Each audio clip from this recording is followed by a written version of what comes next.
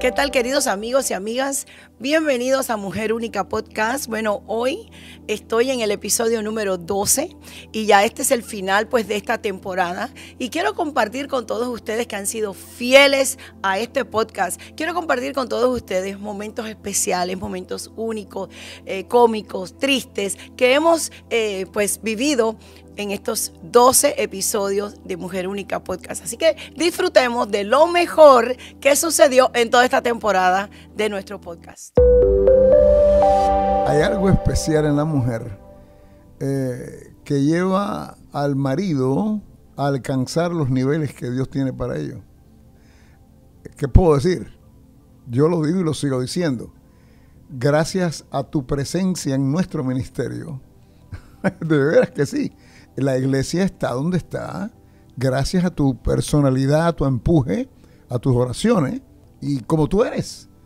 Y yo creo que cada mujer tiene un potencial de ser única en el área que Dios la coloque. Eh, como ayuda idónea a ese hombre, el cual no es que sean diferentes, es que cada cual tiene un rol diferente. Exacto. Y el hombre tiene una visión que tiene que alcanzar llevando a su familia como un pastor familiar. Pero sin la mujer es imposible el poder alcanzar ese nivel. Y a veces nos duele decir eso.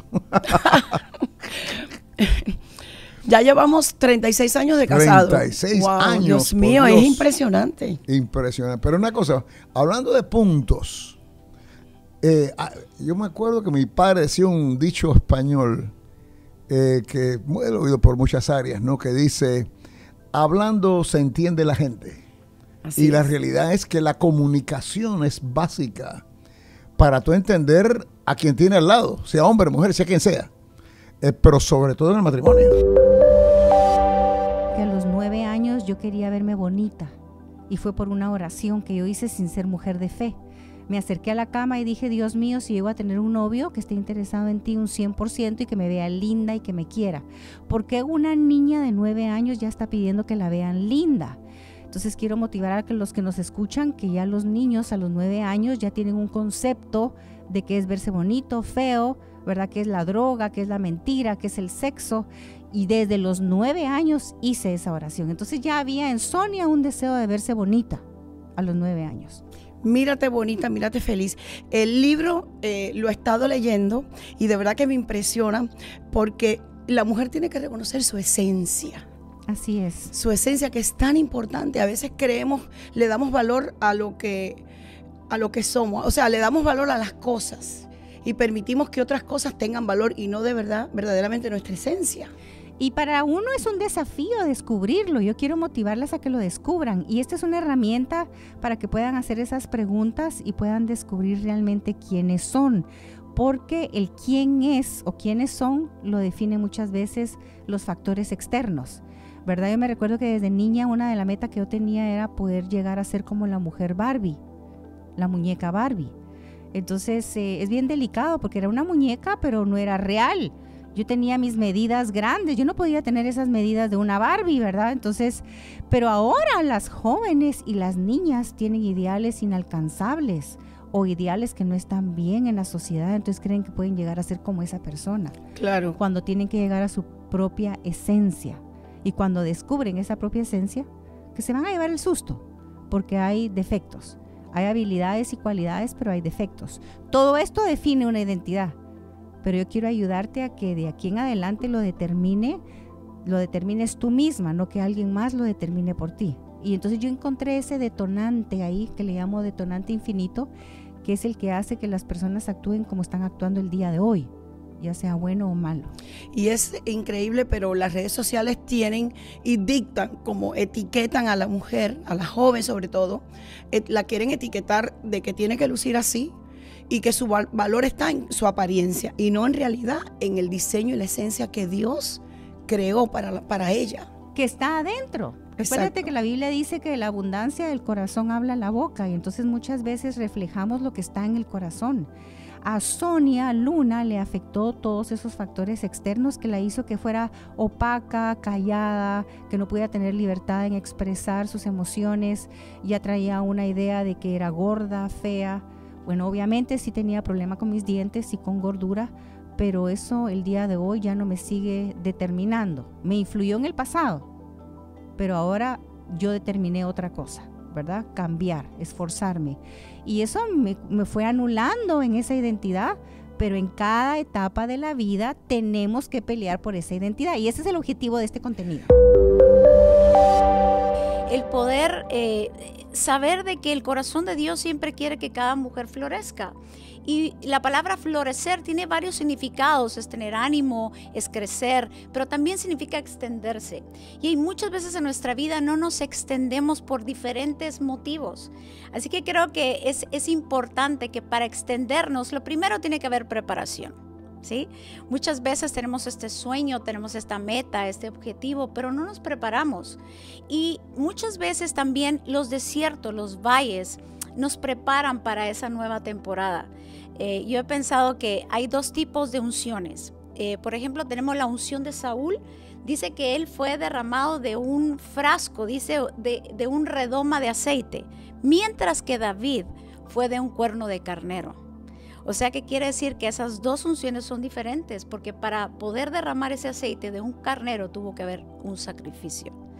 Hay momentos en nuestra vida donde hemos pasado eh, desiertos, momentos de dolor, momentos difíciles, pero es ahí donde Dios nos está preparando para la nueva temporada. Es el proceso. Nosotros como hijos de Dios estamos muertos al pecado, pero el pecado no está muerto en nosotros. Entonces por eso que tenemos que tener esa relación diaria con el Espíritu Santo, que es el que nos fortalece, el que nos recuerda la palabra de Dios y eso es lo que ha hecho Dios en el proceso. Cada día recordándome quién soy, mi identidad, dándome fortaleza para pararme firme. Y ha sido increíble porque en el medio del proceso de guardarme, el Señor realmente me ha apartado y ha alejado toda tentación. Obviamente he sido, he sido cuidadosa de mi corazón, de lo que veo, de lo que escucho. Soy muy cuidadosa porque, porque entiendo la vida que, Y de amistades también. También. Que te, que te arrastran a otras cosas. Así es. Entonces, eh, pero sí, sí, obviamente he entendido que, que, que he tenido que pasar por un proceso de, de apartarme, pero ha sido el Espíritu Santo realmente quien, me ha fortalecido. Me dicen, pero es que mi esposo no tiene paciencia, mi esposo... Eh, todo tiene que ser a su forma, no me escucha, no, no, no comprende, no tiene eh, tolerancia, no tiene paciencia. Entonces, eh, es difícil. A veces el hombre es más intolerante que la mujer, porque el hombre viene de una situación que todavía está, ¿cómo puedo decir?, liberándose o soltando, que es el machismo. Complejos, claro. Y entonces eh, es difícil encontrar un hombre que no haya sido afectado por el machismo, por la, por la cultura en sí de esto, ¿no? Eh, sobre todo en el área de Latinoamérica, el hombre latinoamericano es bien machista. Hay más países que se acentúan más que otros, pero no importa, en todos los países, todos, hay cierta, este, esta contaminación está ahí. Pero entonces, aunque estamos en Cristo y cada vez más nos limpiamos o nos despojamos de diferentes áreas en nuestra vida, y el machismo es una de ellas, la parte de intolerancia del machismo, de que es como yo digo, eh, aunque claramente, por favor, estoy hablando que más se ve en el hombre, pero cuando una mujer es intolerante, apaga y vámonos. No me mires, no me mires con ese tono. No, no, no, no, no. Claro, no, no pero es verdad, Alberto, tienes toda la razón. Eh, hay, que, hay que trabajar el matrimonio, hay que cultivar la relación. Y yo quiero decirte eh, que lo más importante que tú puedes hacer por tu esposo es orar por él. Porque tú no vas a cambiar a nadie. La única persona que cambia que puede, tiene el poder de cambiar a tu pareja es el Espíritu Santo. El Espíritu Santo es el que lo va a cambiar, lo va a tocar, le va a dar convicción, pero es en la medida que tú te enfoques en eso y ores y hables con Dios y le digas a Dios, Señor, yo quiero tratar, yo quiero resolver mi matrimonio, pero es el Espíritu Santo el que va a hacer que tu esposo cambie. Número uno, fe. Y número dos, perseverancia. Tremendo. Fe y perseverancia. Dos ingredientes básicos para, para no tirar la toalla y seguir adelante. Exactamente, porque nuestra mente muchas veces eh, dictamina nuestros pasos de cada día y cuando tu mente o viene una palabra en contra de ti o alguien, eh, una palabra viene en contra de ti negativa, tú ahí tienes que ejercer la fe. No, esa palabra no la acepto, esa palabra la cancelo, voy a seguir adelante. ¿Qué Dios ha dicho de mí como hija de Dios? que quién habla sobre mi vida, esa palabra negativa o Dios sobre mi vida. Así que la fe juega un rol muy importante para nosotras seguir siendo exitosas en esta temporada. Y eso es muy importante lo que tú has dicho, porque constantemente estamos siendo bombardeados de lo que oímos, de lo que vemos, de lo que sentimos, muchas cosas negativas a nuestro alrededor, palabras que nos dicen los maestros, los amigos, diferentes personas. O sea que eso que tú estás diciendo, de tener fe y perseverancia, Fe para creer lo que dice Dios que yo soy. Fe para creer lo que dice Dios que yo tengo. Y perseverancia para no rendirme y seguir adelante. Exactamente, porque la perseverancia es cuando ahí vienen los no en tu vida, cuando piensas que no lo puedes hacer, ahí es la donde la perseverancia es importante. Uno nunca se puede olvidar de nuestro propósito en la vida. ¿Cuál es el propósito que Dios te ha dado a ti como mujer? Que más nadie, ninguna otra mujer en el planeta lo puede hacer realidad excepto tú, porque tú viviste, creciste con un propósito. Entonces ahí es donde está la perseverancia. Si tú sabes qué es lo que amas, si tú sabes qué es lo que te mueve, si tú sabes lo que no te gusta, ahí es donde viene tu propósito. Y esa perseverancia de constantemente autoevaluarse en Dios y decir voy a seguir adelante porque esta es mi misión. Vas a encontrar en la palabra de Dios todo el respaldo, toda la fortaleza, todo el apoyo, todo el amor, toda la confianza, toda la seguridad que tú necesitas para tú saber que tú no estás sola, en este proceso, que tú no estás solo en este momento de dificultad que se ha querido levantar en contra tuya y que te ha tomado de sorpresa.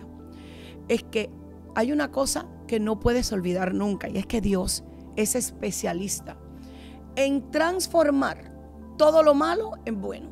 Dios es especialista y a veces no, no es de la forma que nosotros pensamos.